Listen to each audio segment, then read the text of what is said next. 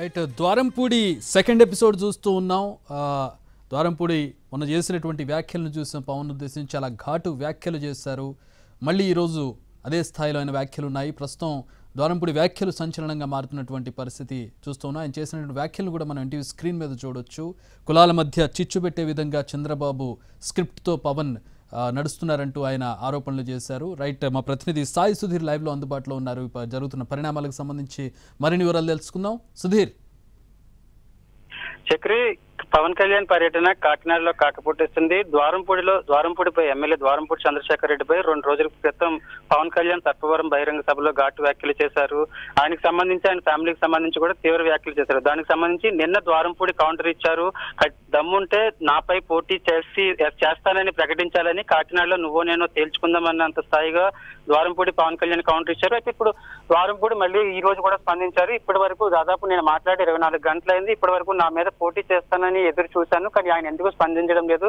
తోక ముడుచుకుని వెళ్ళిపోతున్నాడు. కాకినాడ మరో రెండు గంటల్లో పవన్ కళ్యాణ్ కాకినాడ నుంచి కోనసీమ జిల్లాకు వెళ్ళున్నారు ముమ్మిడివారం వెళ్ళున్నారు ఈ రెండు గంటలలోపు ఖచ్చితంగా నాపై పోటీ చేస్తానని ప్రకటించి వెళ్ళాలి.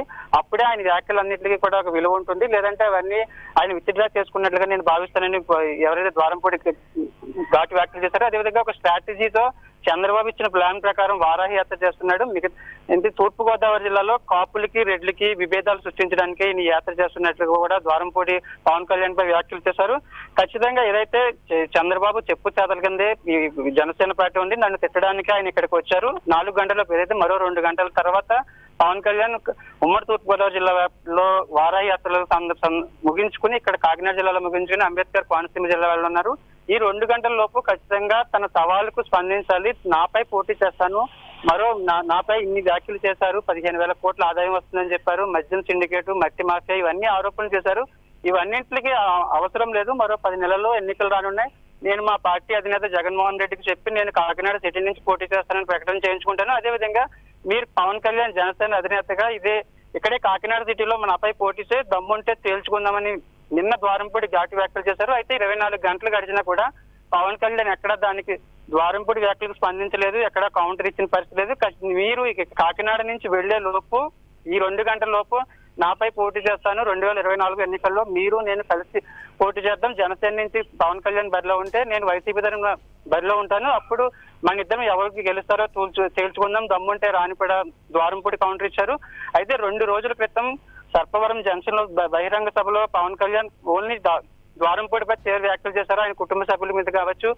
అదేవిధంగా బియ్యం ఎక్స్పోర్ట్ చేస్తారు. పదిహేను వేల కోట్ల ఆదాయం సంపాదిస్తారు.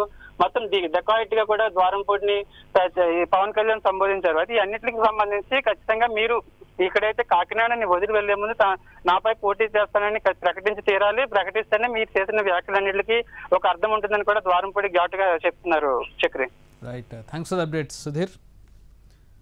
Pawan Kalyan స్పందన ఏ విధంగా ఉంటుందో వేచి చూడాలి. తన మీద పోటీ చేస్తారో లేదో కాకినాడ దాటిలోపు చెప్పాలని చెప్పి ఆయన అల్టిమేటం ఇచ్చారు. మరి పవన్ కళ్యాణ్ దీనికి సంబంధించి ఏ విధంగా స్పందిస్తారో చూద్దాం. ద్వారంపూడి మీద ముందుగా పవన్ కళ్యాణ్ చేసినటువంటి వ్యాఖ్యల నేపథ్యంలో నిన్న ద్వారంపూడి చాలా ఘాటుగా స్పందించారు. ఈరోజు మళ్ళీ మరొకసారి అదే విధమైనటువంటి ధోరణిలో ఆయన స్పందించారు. ఇక చివరిగా కంక్లూజన్లో ఆయన పవన్ కళ్యాణ్ తన మీద పోటీ చేస్తారో లేదో తేల్చి చెప్పాలంటూ ఆయన సవాల్ విసిరారు.